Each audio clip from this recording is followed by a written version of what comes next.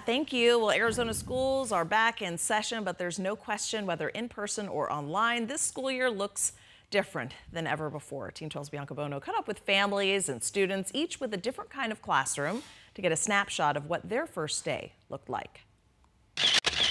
They say a picture is worth a thousand words. And back to school pictures, typically capturing the nerves and excitement of a fresh start, a new chapter.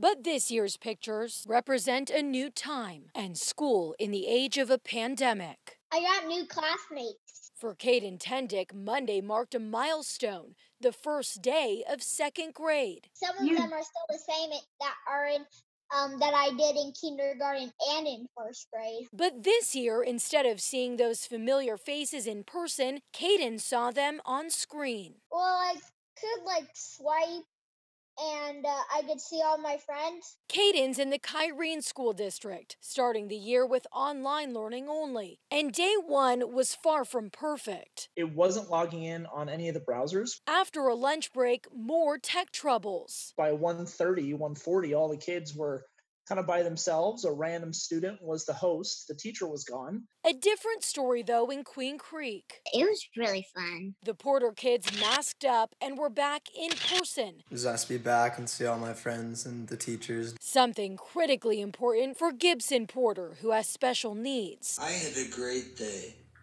It is so much easier for me to learn when I am at school. They all said that academically it was a hundred times easier to be in class. Senior Ryan Giacinto is somewhere in the middle. School starts at 8.15. I was able to wake up at around 8.10. His hybrid schedule at American Leadership Academy starts online, but when it comes time for orchestra class,